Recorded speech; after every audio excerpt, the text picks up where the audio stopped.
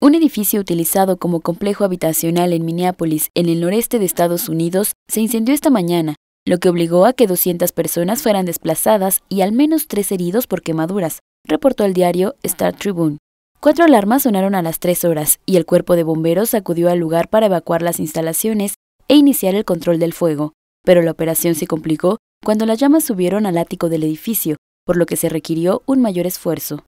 No se registraron víctimas mortales, aunque tres personas fueron trasladadas al hospital para ser evaluadas, mientras siete más fueron atendidas por la Cruz Roja por problemas de respiración en las calles aledañas. John Frutel, jefe de bomberos de la ciudad, aseguró que al ser una construcción que data de 1926, resulta más complejo realizar las labores de rescate del inmueble, pero aseguró que tuvieron mucha suerte de que las alertas previnieron a su equipo en el momento correcto.